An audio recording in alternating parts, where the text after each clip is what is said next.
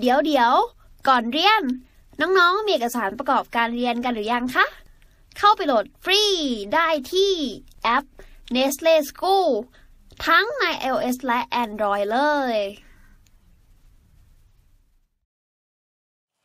ค่ะน้องๆ ต่อไปมาดูโจทย์เรื่องงานพลังงานในข้อที่ 163 กันต่อนะคะ เรามาอ่านโจทย์กันเลยค่ะ ยิงลูกปืนมวล 10กิ10กรัม ในแนวระดับ ด้วยความเร็ว 1,000 เมตร ต่อวินาที เข้าไปฝังเป้า เข้าไปฝังในเป้ามวล 5 กิโลกรัม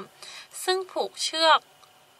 แขวนไว้ในแนวดิ่ง ตรงนี้ไม่มีอักษรอานะคะ แขวนไว้ในแนวดิ่ง เป้าจะแกว่งขึ้นไปได้สูงจากตำแหน่งเดิมกี่เซนติเมตร มาดูช้อยกันค่ะ ช้อยที่หนึ่งยี่สิบช้อยที่สองยี่สิบห้าช้อยที่สามสี่สิบช้อยที่สี่ห้าสิบ เมื่อมาถึงตรงนี้เนี่ย น้องหลายคนอาจจะยังนึกภาพไม่ออก เดี๋ยวพี่จะมาเอ่อวาดรูปให้น้องเห็นเพื่อให้น้องเห็นภาพก่อนนะคะ ในข้อนี้เนี่ย ถ้าเราลองวาดรูปดูเนี่ย เราจะมีเป้าแขวนไว้อยู่ใช่ไหมคะ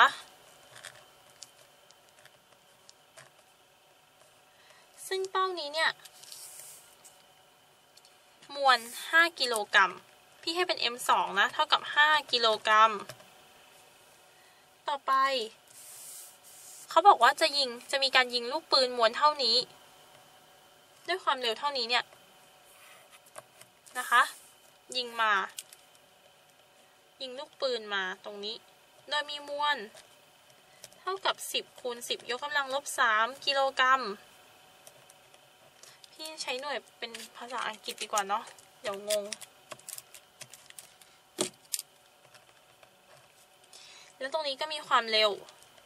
เท่ากับ 1,000 เมตรต่อวินาที แล้วเขาถามหาว่าเป้านี้เนี่ยจะขึ้นไปได้สูงกี่เซนติเมตร ซึ่งถ้าพี่สมมติว่าพอถูกยิงแล้วปุ๊บ เป้านี้จะขึ้นมาอยู่ตรงตำแหน่งนี้ โดยอยู่สูงจากระดับเดิมเป็น h โดย h นี้พี่ให้หน่วยเป็นเมตรก่อนนะคะ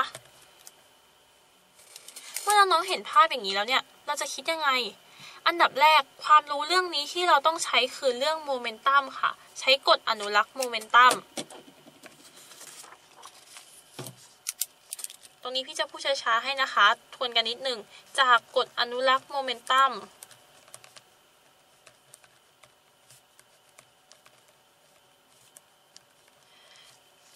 มันคืออะไรคะ m 1คูณ u 1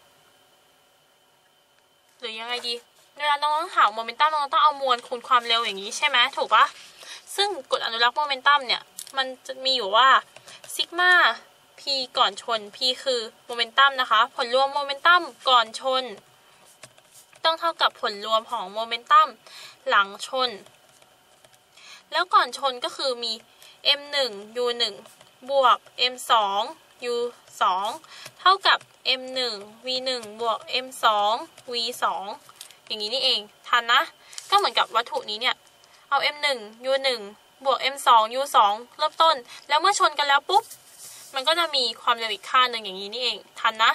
โอเคสำหรับข้อนี้ พี่ก็จะแทน m 1ลงไปเลย ซึ่ง m 1คือเท่าไหร่คะ คือ 10คูณ10 ยกกำลังลบ 3 หรือมันก็คืออะไรเอ่ย 0.01 นั่นเอง เป็น 0.01 u 1 u 1คือ 1,000 บวกกับ m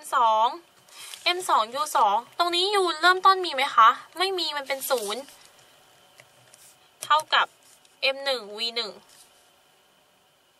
ความเร็วปลาย ของทั้งคู่ ถามว่าในข้อนี้เนี่ยมันชนแล้วติดกันไปไหมคะ ใช่มันชนแล้วติดกันไปดังนั้น ความเร็วปลายของทั้งคู่จึงมีค่าเท่ากัน ที่จึงนำ m 1 มาบวกกับ m 2 ได้เลย นั่นก็คือ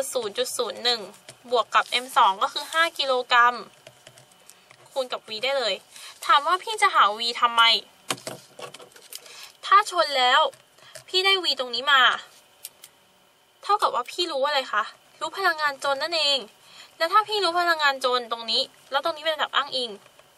พี่ก็รู้ว่าตรงนี้เนี่ยมีพลังงานศักย์ใช่ไหม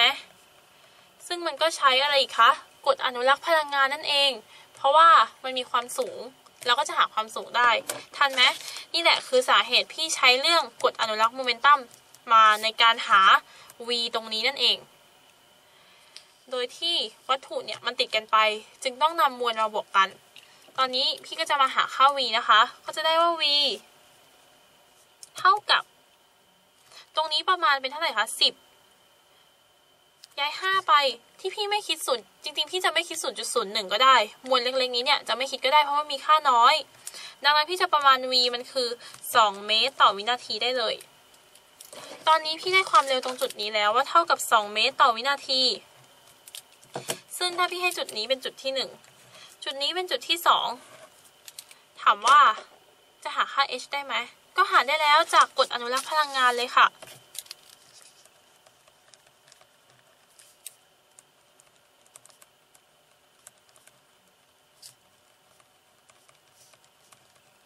น้องๆก็จะได้ว่าซิกมา e 1เท่ากับซิกมา e 2ซึ่งในจุดที่ 1 เนี่ย มันมีความเร็วมีพลังงานจนก็คือเศษ1ส่วน2 mv ยกกำลังสองจุดที่ 2 ก็มี h ก็เป็น mgh แล้วน้องๆก็จะหาค่า h ได้แล้วจากตรงนี้นั่นเอง ก็จะแทนค่าลงไปนะคะ จะได้ h คือตรงนี้ v เป็นเท่าไหร่คะ v เป็น 2 ก็จะกลายเป็น 2 ยกกำลังสองหาร 2 เอา g มาหาร หารอีก 10 จึงได้ h คือ 0.2 นั่นเอง 0.2 เมตร เพราะฉะนั้น h จะเท่ากับเท่าไหร่คะ 20เซนติเมตรนั่นเอง ซึ่งพบว่าตรงกับช้อยที่ 1 ในข้อนี้ก็เลยตอบข้อที่ 1 นะคะ โอเค ทีนี้เรามาสรุปกันนิดนึงสำหรับโจทย์ในข้อนี้เนี่ย ถ้าเรายังนึกภาพไม่ออก พี่แนะนำว่าให้น้องวาดภาพมาก่อน แล้วค่อยๆ เข้าใจเหตุการณ์ ซึ่งเหตุการณ์ของอันนี้คือ เขาจะยิง พอยิงปุ๊บ มันจะไปฝังอยู่ในนี้ แล้วทำให้อันนี้เนี่ยมีความเร็วแล้วก็ขึ้นไปได้ ดงว่าขั้นตอนนี้ต้องเป็นการใช้กฎอนุรักษ์พลังงาน แต่ขั้นตอนนี้ล่ะ เราจะหาความเร็วของตรงนี้ได้ยังไง ก็ต้องใช้เรื่องกฎอนุรักษ์โมเมนตัม ซึ่งพี่ได้ทวนไปให้ว่าซิกมา p ก่อนชนต้องเท่ากับซิกมา p หลังชนแล้วก็แทนค่าต่างๆลงไปเพื่อหาค่า v จึงได้ว่า v เท่ากับ 2 เมตรต่อวินาทีค่ะ มื่อเราได้ v แล้วปุ๊บ เราก็นำไปแทนในกฎอนุรักษ์พลังงานเลย เพื่อหาค่า h สุดท้ายจึงได้มาว่า h เท่ากับ 0.2 เมตร หรือ 20 เซนติเมตรนั่นเองค่ะ ในข้อนี้ก็เลยตอบ 20 เซนติเมตร ซึ่งตรงกับช้อยที่ 1 นั่นเอง ในข้อนี้ก็เลยตอบข้อที่ 1 นะคะ เรียนจบแล้ว อย่าลืม เข้าไปฝึกทำข้อสอบแบบจับเวลา ในแอป Nestle School กันด้วยนะจ๊ะ ถ้าน้องๆมีคำถามสงสัย ไม่เข้าใจตรงไหน ถามว่าในแอปได้เลย แล้วพี่ๆจะรีบเข้าไปตอบให้นะคะรักใครชอบใครอย่าลืมแชร์คลิปนี้ไปให้สักคนนะคะของลบเสร็จทั้งหมดกำลังให้เห็นปะข้อสองมันตอบสามเห็นปะแค่เข้าใจนิยามของเลขกำลัง